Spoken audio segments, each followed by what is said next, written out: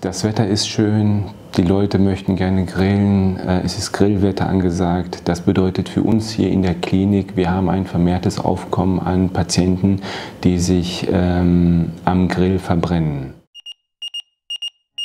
Ja, also mein Name ist Mehmet Altintas. Ich bin Facharzt für plastische, ästhetische äh, Chirurgie.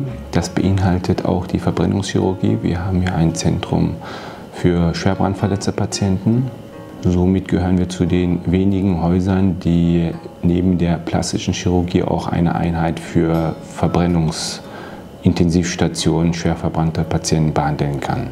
Zum Glück ist es so, dass ähm, nicht jede Verbrennung schwerbrandverletztenmäßig versorgt werden muss auf der Intensivstation.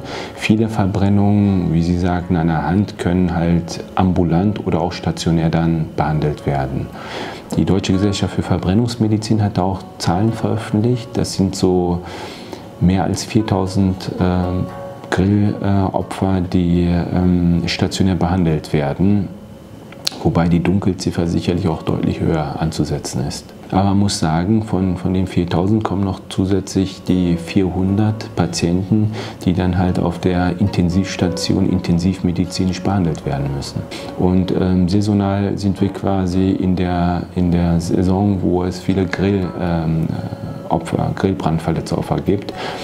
Am Wochenende häufen sich die äh, Zahlen, dann kommen auch mehrere am Tag.